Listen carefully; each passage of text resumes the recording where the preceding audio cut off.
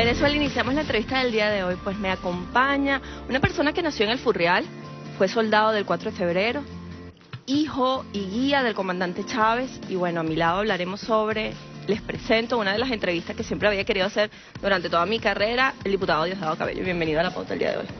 Buenos días Buenos a toda días. Venezuela, buenos días a los trabajadores y trabajadoras de Venezuela de Televisión. Cambiando de nueva imagen a lo que somos, La pauta de hoy, la pauta de hoy. La pauta de hoy. Vamos fue el llamado a la- al pueblo venezolano después del 6 de diciembre y ahora es lo que somos, un pueblo luchador, un pueblo que está en la calle. Eso, eh, lo que somos. Yo estos días estaba leyendo unas cosas del comandante Chávez y hice el, hice el comentario, ¿no? Porque el comandante Chávez nos enseñó a hablar así en, en, en colectivo y nos enseñó inclusive a, a conjugar o a usar la palabra poder como, como verbo, ¿no? Como verbo. Del, pasamos del, del poder ese de la Cuarta República al yo puedo, al nosotros podemos, como verbo, no, no el poder como, como el, la forma de ejercer un gobierno, sino el poder en colectivo.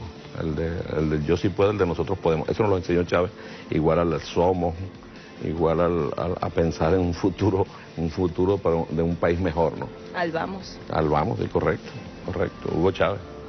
Todo se parece a Chávez, así es. todo se parece a Chávez. La calle, hablando del comandante Chávez, el Venezuela en los últimos años ha sufrido una de las peores guerras económicas. Pero sin embargo podemos notar un fenómeno político que me gustaría que lo describiera en este momento. Vemos a la gente, un pueblo movilizado cuando se les llama a defender las calles. ¿Eso pasará por qué razón? Volvemos a Chávez otra vez.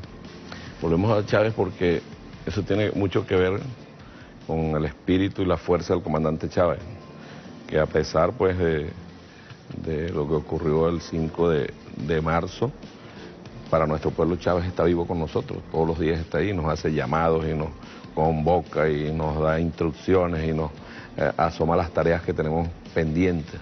Entonces el pueblo se moviliza cada vez que siente que la revolución o lo alcanzado, lo logrado gracias al- a, la, a la revolución bolivariana puede estar en peligro, en riesgo. Nosotros tuvimos la suerte de verlo en días previos a lo que ellos llamaron la toma, con las connotaciones de lo que significa la palabra toma, eh, del primero de septiembre.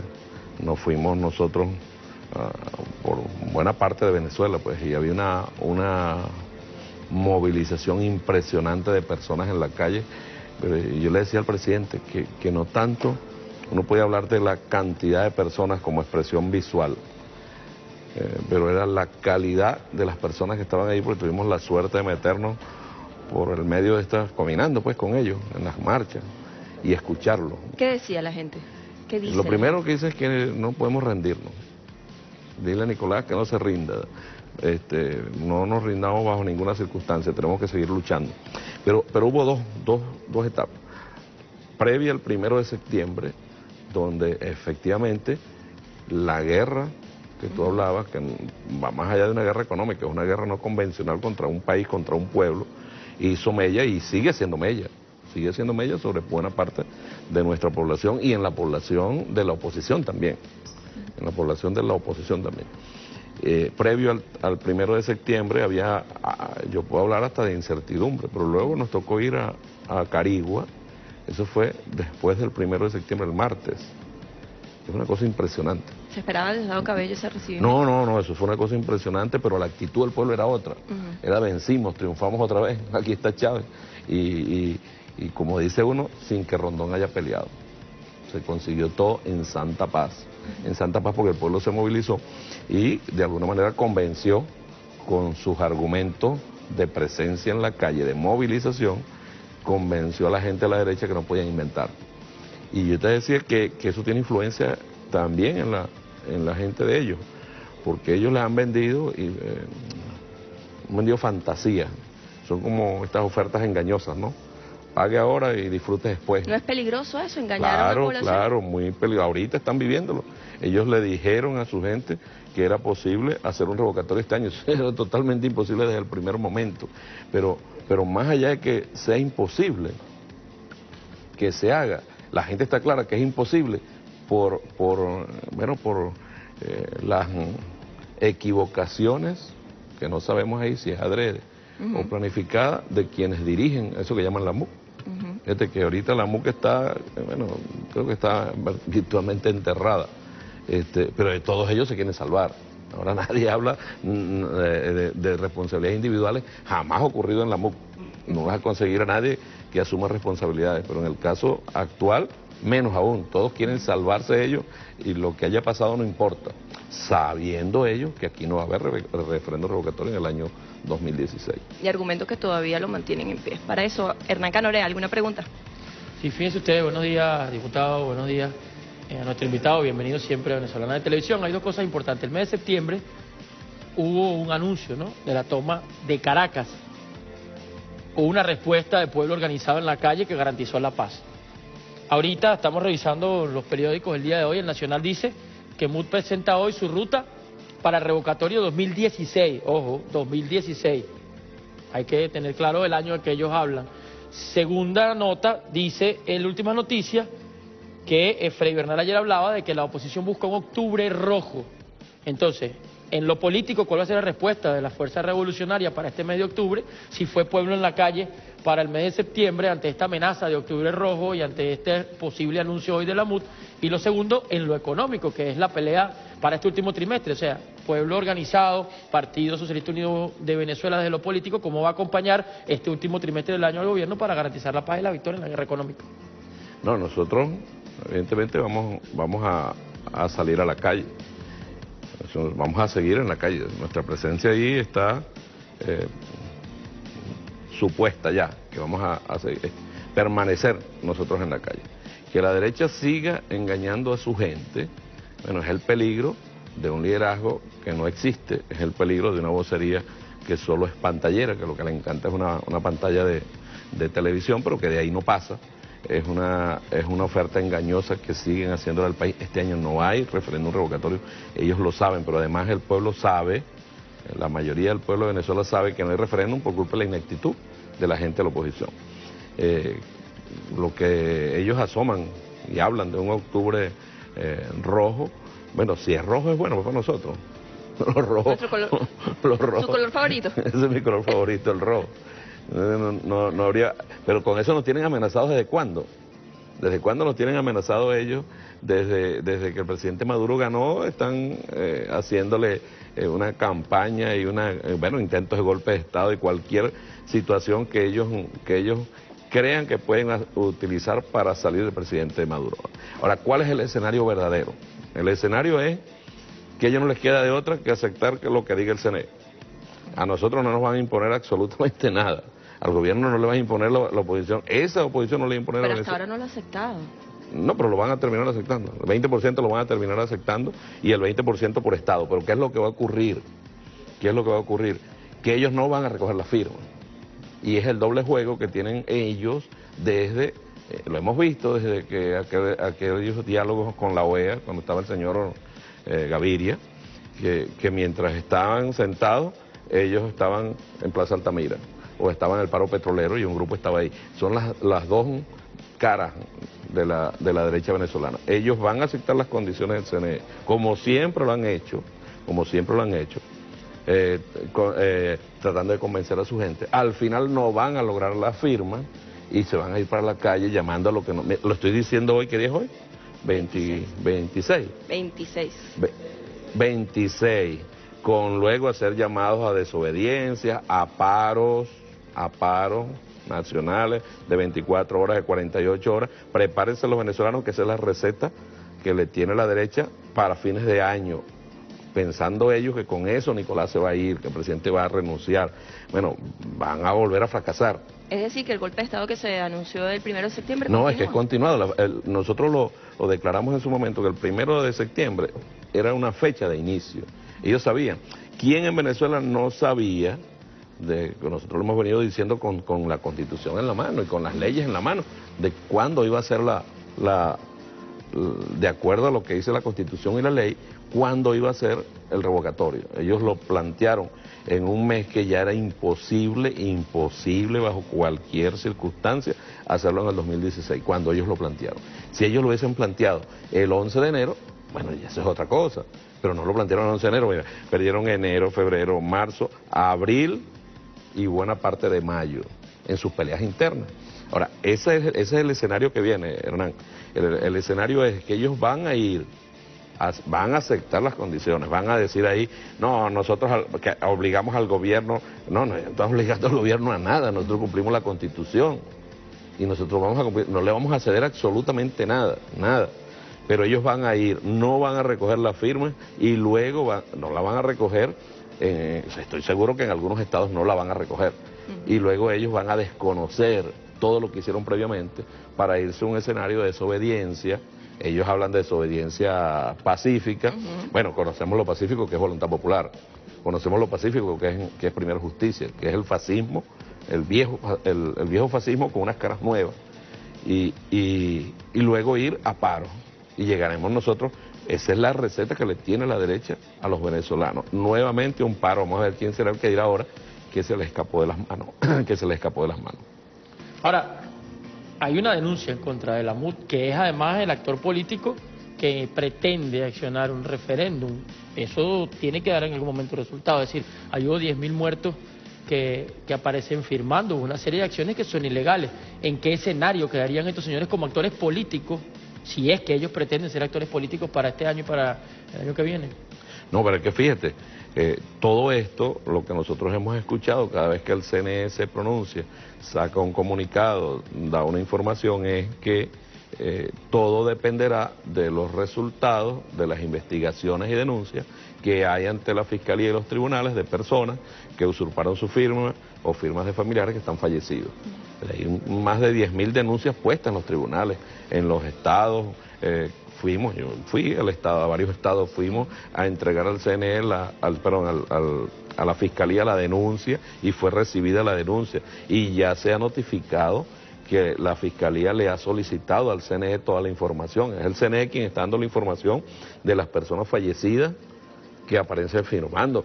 ¿Cómo es que tú vas a hacer un proceso de esa naturaleza y vas a comenzar con un fraude? Vas a comenzar con una mentira, vas a comenzar con el engaño. Esos son los que, los que quieren eh, darle lecciones de moral al país. No tienen ni un solo ápice de moral. Hablando de moral, vamos a escuchar la moral de un pueblo con Barry Cartaya que tiene el repaso por las redes sociales. Así es, Merlin. Un gran saludo al diputado Diosdado Cabello Rondón. Invitamos a todos a que se activen desde ya con la interacción. Recuerden la etiqueta 10 millones para clase porque Venezuela tiene 10 millones de estudiantes. Se sigan escribiendo. Vamos a la pausa. Ya venimos con mucho más de la pauta de hoy.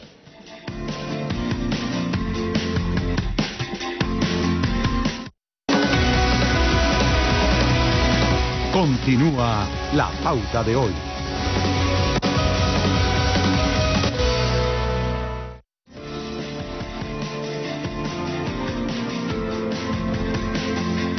Continuamos y es que los ataques de los medios de comunicación hacia Venezuela aún no cesan. En 17 años de revolución los medios han arremetido contra la gestión del comandante Chávez y ahora con la del presidente Nicolás Maduro. Veamos una muestra de lo que dice el mundo de Venezuela.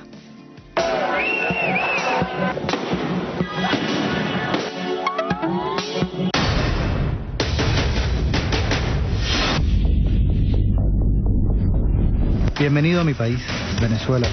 Un país de colas para comprar comida que el gobierno no quiere que se graben y donde una simple visita al supermercado puede terminar en un disturbio.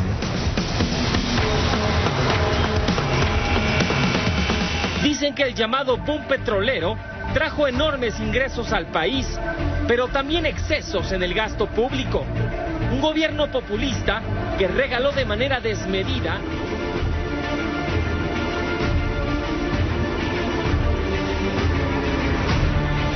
no va a quedar un perro, un gato en nuestras calles, porque aquí la gente está pasando hambre y de la dura. Roberto es uno de ellos. Cuando no consigue comida en la basura, dice que apela a castrar una rata o un gato que hace el fuego. Bienvenidos a este cubrimiento especial de Noticias Caracol. Desde hoy estaremos con ustedes mostrándoles la realidad de Venezuela. En las siguientes horas, en los siguientes días, es lo siguiente. Mañana vamos a tener una sesión intensa de contacto con los sectores sociales. Vamos a hablar con sectores gremiales, con sectores sindicales, con sectores estudiantiles. Intentaremos incluso incluso pulsar la opinión de, algunos importantes actores institucionales como las iglesias, por ejemplo, como sectores vinculados a las relaciones internacionales, al cuerpo diplomático.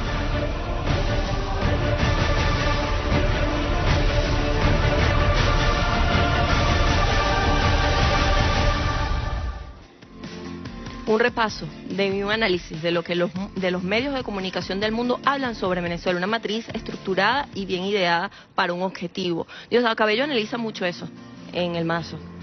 Sí, ahí inclusive tratamos de buscar las noticias que, que no son públicas, pero que son las que corren por las redes, ¿no?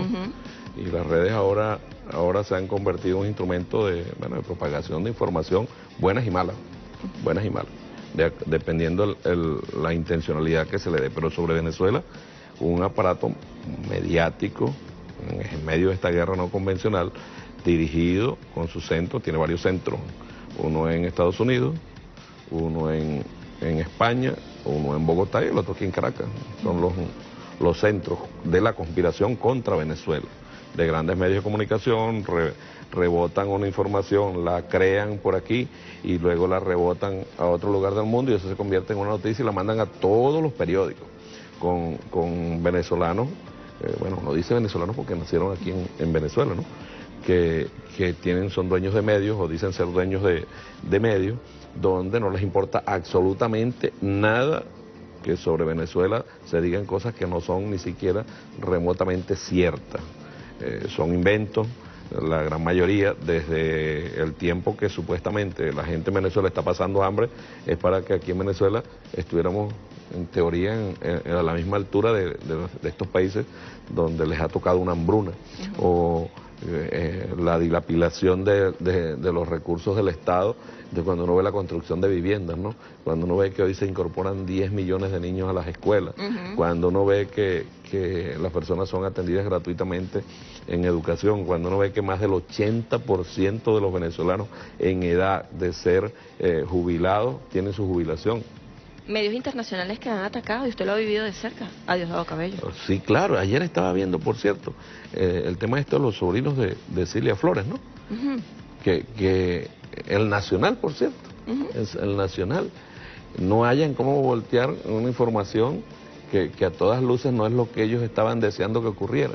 Entonces ponen un titular y cuando tú revisas, la, nada para nada dice ahí adentro del titular. O en estos días pusieron a, a Delcy, demuestra el Nacional cómo ataca a Delcy, que es nuestra canciller.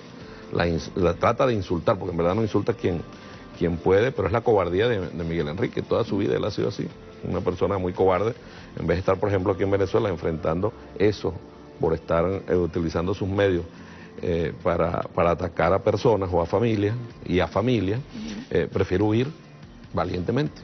El Papa lo dijo esta semana, que, utilizar el periodismo eh, para, para vilipendiar, para difamar, es una forma de terrorismo.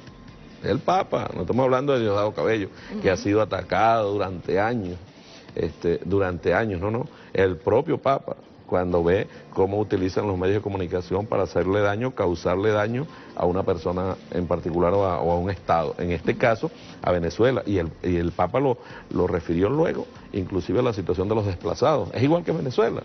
Es un país que está siendo asediado por la prensa internacional cuando tú ves que el propio presidente de los Estados Unidos, en una, en una intromisión sin precedentes, diga que hay que cambiar al presidente Maduro por un presidente que satisfaga todas las, todos los gustos. No hay otro, es Nicolás, que ganó aquí con, una mayoría, el día que le tocó las elecciones, probablemente con una mayoría mayor de la que va a ganar el presidente que gane ahorita en Estados Unidos.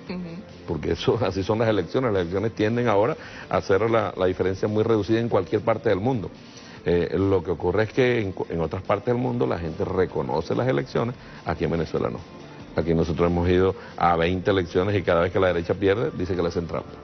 ¿No lo reconoce toda la gente o el sector que no No, el sector de la derecha. Nuestro compañero Barry Cartar ya está haciendo un repaso por todas las redes sociales. Vamos que tienes a esta hora, Barry. Así es, Merlin, y diputado, de inmediato vamos a hacer lectura de, porque no es la primera vez que la oposición venezolana va a una, una hoja de ruta. Vámonos de inmediato a su página oficial de la MUT y nos trae una nota que escogimos desde el 8 de marzo, que nos dice, Unidad Democrática debe conocer la hoja de ruta. Cuando damos lectura acá, es todo el pronunciamiento, pero vamos a hacer énfasis en tres episodios fundamentales, porque hay que recordar que ellos debatieron comenzando el año 2016, no sabían cuál vía escoger, cuál herramienta utilizar para en seis meses acabar con el gobierno del presidente presidente Nicolás Maduro. La primera, lograr la renuncia. La segunda, aprobar una enmienda constitucional. La tercera, iniciar el proceso revocatorio. Pero ellos le unen dos más, que es el tema del artículo 350 y también el apoyo internacional a través de la Organización de Estados Americanos, la OEA, y la supuesta Carta Democrática. Tomando en cuenta esto, diputado, una nueva hoja de ruta de la oposición venezolana, ¿qué decirle a ese pueblo opositor que quizás está esperanzado en acabar con la revolución y obviamente eh, qué hay detrás de esa supuesta hoja de ruta y los planes que tiene la oposición venezolana. Sí, ellos, ellos dentro de, de su desespero entran en una situación uh, muy peligrosa para el país, hacen daño al país. Cuando ellos vuelven a, engañar a su gente y decirle esto es la verdad, lo que hay que hacer para salir de Nicolás Maduro, pero ¿por qué no lo hicieron en enero? ¿Por qué no lo hicieron hace, hace un año y medio? Ahí es donde uno dice que ellos siendo tan inteligente, pero tan inteligente, supremamente inteligente, y nosotros siendo tan brutos, y los inteligentes no han podido sacar a los brutos en 17 años al poder.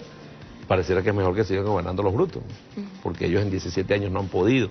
Ahora, ahí ellos hablan, eso fue en marzo, ahí ellos hablan de las opciones que tenían ahí sobre la mesa, porque es, el, es a todo trance que ellos quieren acabar con un gobierno legítimo, que ganó unas elecciones, alejándose de esta constitución.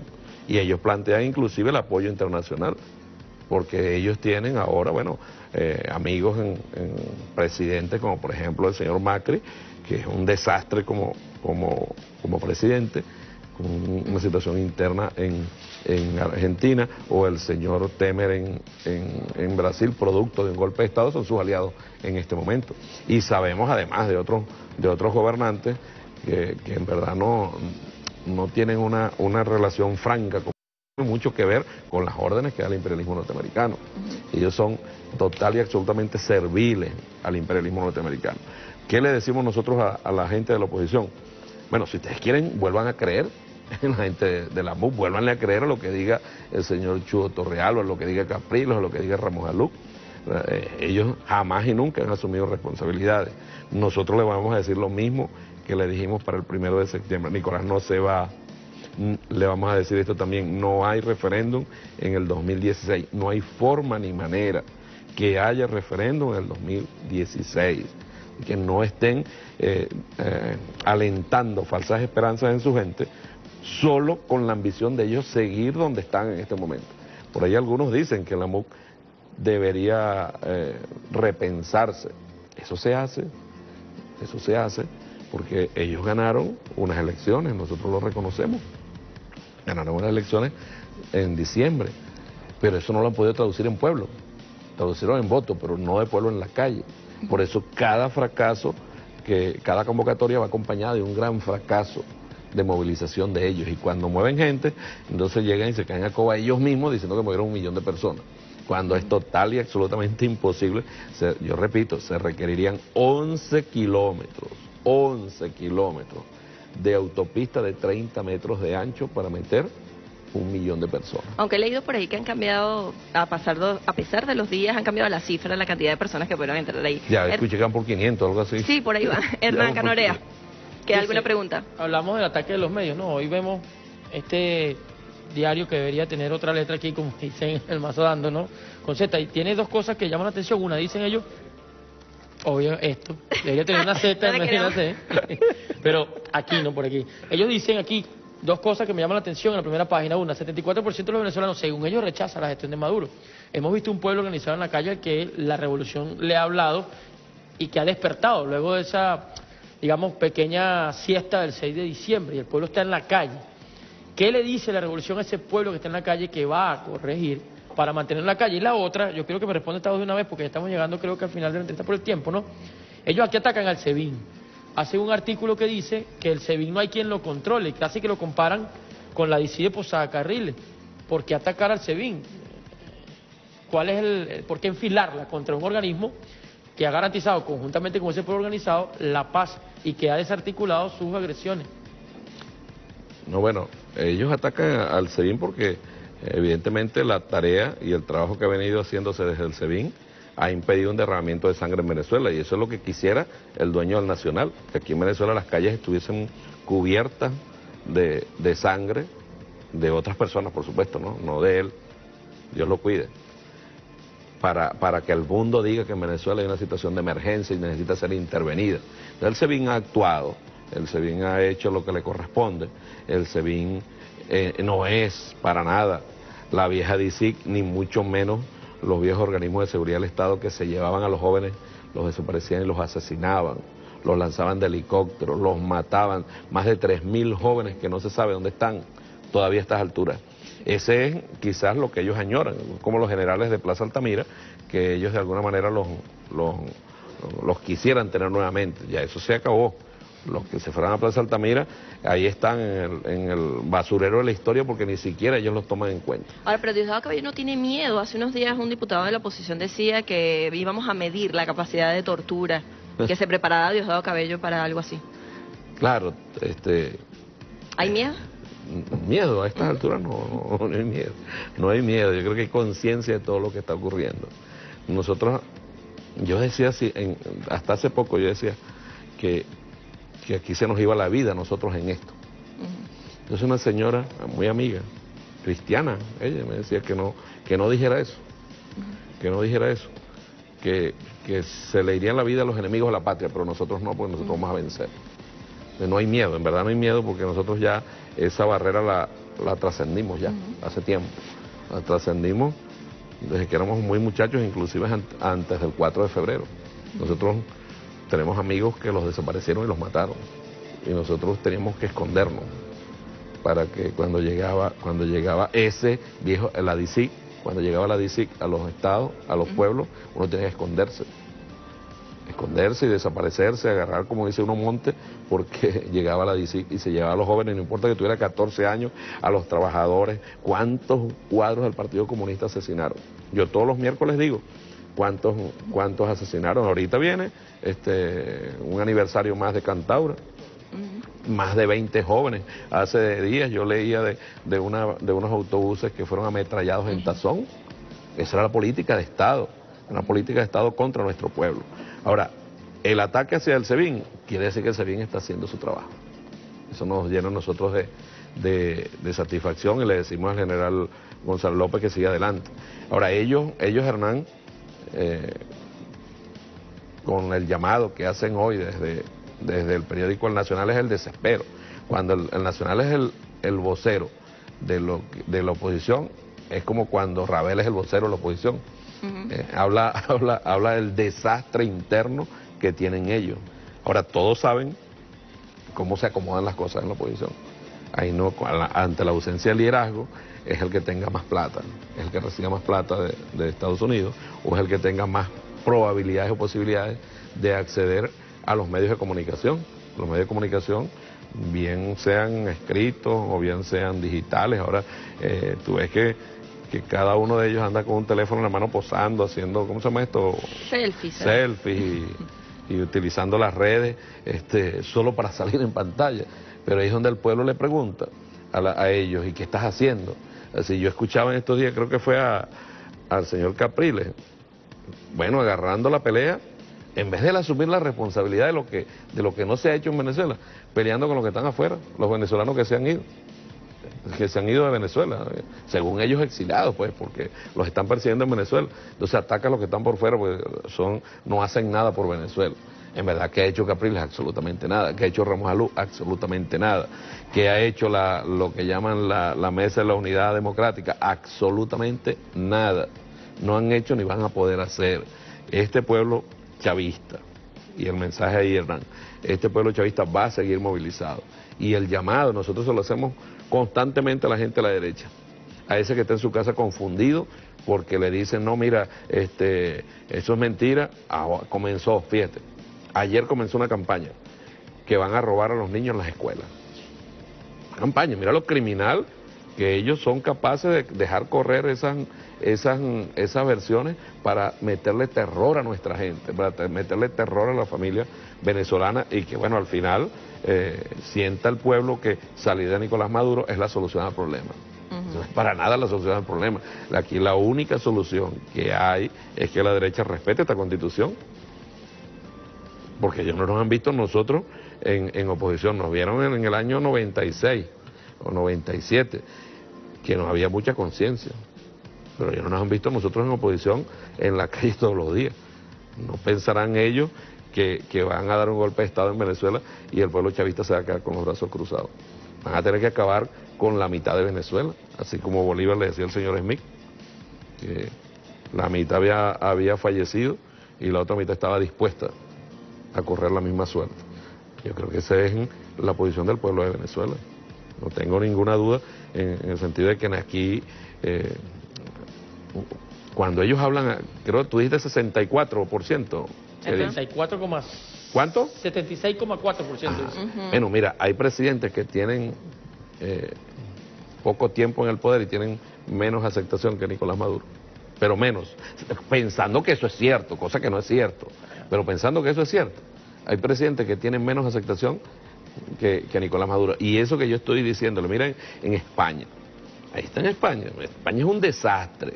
Tanto que hablan de Venezuela y España acaba de ser raspada por la ONU en derechos humanos, mientras que Venezuela pasó el examen. ¿Y por qué? ¿Por qué está siendo aplazada en derechos humanos? Porque hay represión, porque no respetan a la gente, no respetan los derechos a las personas. Aquí en Venezuela no, eso era antes que ocurrían violaciones a los derechos humanos en los gobiernos de la Cuarta República. Ahora, Asamblea Nacional, un último tema, ¿les parece antes de despedirnos? Porque es bien interesante. Tengo la, esa misma duda. Arrancó la Asamblea Nacional, como dirían, eh, hasta la conceptualización de la derecha, ¿no? Con el pie izquierdo, ¿sabes? Cuando uno se levanta y dice, ah, te paraste con el pie izquierdo. Digamos que arrancó con el pie derecho, violando el reglamento interno, todo un desastre en las primeras sesiones y agarró el rumbo que no era. ¿Qué va a pasar con esa Asamblea Nacional? Incluso usted en lo personal ya desistió de aparecer allí para no legitimar eso. ¿Qué va a pasar con esa Asamblea? ¿A dónde va? La, Asamblea es muy parecida al revocatorio. O sea, tienen una, uno no sabe cuál es, es menos importante en este, en este momento para el país. La Asamblea la convirtieron ellos, la derecha venezolana la convirtió en algo peor inclusive que en la Cuarta República. Mucho peor, mucho peor, porque antes en la Cuarta República entre ellos se, se, se vivían peleándose, los adecos, los copellanos, ahí afuera estaban de acuerdo. Por lo menos había la, ¿cómo se llama? La, el paro de pensar que estaba trabajando la Asamblea Nacional. Se ha convertido en un centro de extorsión, abiertamente un centro de extorsión, desde la Comisión de Contraloría de la Asamblea, desde las comisiones de la Asamblea, citando a empresarios, diciéndoles que están siendo investigados. Eso es lo que les espera, señores empresarios. Esos son los que lo van a llamar usted un paro dentro de poco. Tenga la certeza que la derecha venezolana va a llamar a un paro nacional para salir de Nicolás Maduro. Tenga la certeza, usted trabajador, usted trabajadora, que, que muchos de sus jefes van a montarse igual que se montó Lorenzo Mendoza en el paro del año 2002. Tengan la certeza porque ellos no van a recoger las firmas, no las van a recoger. Ellos lo saben, no tienen manera. ¿Qué dicen ellos? Que después de, son siete horas por día, entiendo. Y entonces que no van a permitir que cierren. No van a permitir que cierren los centros de recolección. Violando de una vez. ¿Qué debería hacer el CNE? Ah, bueno, suspendo la, la actividad. Y listo. Si eso se pasa eh, de, de, la, de la hora 7 en un día, el proceso tiene que, si es que eso llega ahí por las denuncias que hay, inmediatamente tiene que suspenderse el proceso, porque ellos quieren hacerlo por lo, a lo guapo, pues. A lo guapo no, a lo guapo no, va a ser posible. No hay forma ni manera que ese revocatorio se haga. Y la Asamblea Nacional, bueno, ahí está en la disyuntiva. ¿Quién va a presidir? Ramos Alú le agarró el gusto a, na a, nada, le agarró el gusto a la nada, porque la Asamblea es la nada. Y él quiere seguir ahí porque eso le ha dado algún tipo de, de, de connotación pública. Y él quisiera seguir aprovechándola porque él sabe que una vez que entregue la Asamblea Nacional, eh, bueno, ocurrirá eh, su declive político hasta la desaparición. Ahora, yo creo que hay un acuerdo entre ellos. Yo se lo dije en estos días a Julio Borges. Yo no soy amigo de Julio Borges ni, ni le tengo ningún aprecio ni nada.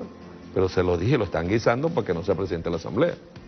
Y lo están guisando inclusive hasta compañeros de él, para que no sea presidente de la Asamblea, para tratar de dejar al señor eh, Ramos Alú ahí. La gente nos pedía por las redes sociales un masazo. No los están dando, no, está dando. yo no sé, yo no sé qué va, qué va a pasar con Hernán ahora y su programa y quién, quién va a promocionar el, el mazo. El patrocinante era el, eh, bueno, el gallo continúa. Ah, no, El gallo pero, continúa. pero es como difícil ¿vale? ahora, ¿verdad? Hernán, no sé qué vamos a hacer, ¿vale? Te vas a hacer tu programa a las 2 de la mañana, ¿será? Nos pedían un masazo y pues ahí lo tenía. No, bueno. El llamado a la alerta. No, el alerta. Yo se lo. Esto es, esto se lo, eso es lo que han discutido ellos en su reunión. Es más, se los voy a decir. Ahí la locura, David Molaski. La locura total y absoluta. Es el que ha planteado locuras desde la gente de Voluntad Popular, que es el fascismo más recalcitrante que pueda haber. Eh, Primero Justicia, en su desespero, porque Primero Justicia es la que va a cargar con el peso histórico del revocatorio, porque fueron ellos, bueno, fue su, su, su candidato presidencial dos veces perdedor, eh, Capriles, quien eh, impuso al final el- eh, la tesis de revocatorio cuando lo que decía este, Cartaya, te- eh, que estaba en, el- en la hoja de ruta, en la hoja de ruta había varias opciones y al final se quedaron solos con el revocatorio y fue primero justicia quien lo hizo AD pss, en la nada en la nada pues y yo creo te voy a decir yo te voy, te voy a decir que creo quien gana aquí es María Corina Ay, Dios.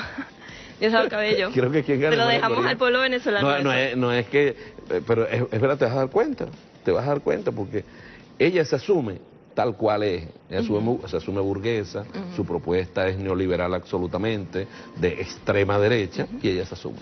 Muchísimas gracias por acompañarnos Ya nos el día de hoy. Ya, se nos pasó rapidísimo el tiempo. Hasta el miércoles. Nos invita entonces el miércoles. Hasta el miércoles. Hasta el miércoles en su programa con el Mazo Dando. Gracias por la invitación. Gracias. Y es un placer estar en el primer programa de La pauta de hoy. La Pauta de hoy. Vamos con Barry.